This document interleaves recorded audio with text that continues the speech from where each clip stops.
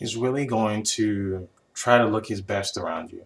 You're going to notice that he may walk taller or he may act really he, he may try to make himself look more than he really is you know he may try to even present himself in a better way dress better smell better etc and um, once you notice all this stuff another big key for how, how to know a guy's crushing on you is how he looks at you compared to other girls in essence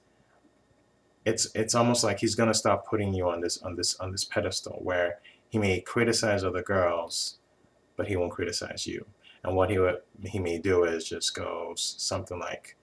"You're so much better than that." So he's gonna stop putting you on on a on a on a higher level than than other girls around you.